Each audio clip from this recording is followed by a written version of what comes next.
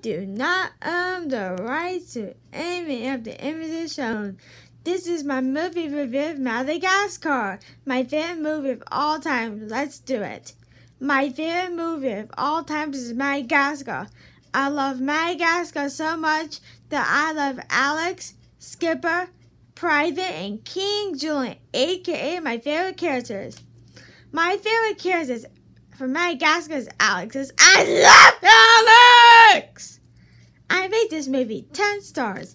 1, 2, 3, 4, 5, 6, 7, 8, 9, 10. Kaboom! Thanks for watching. Bye!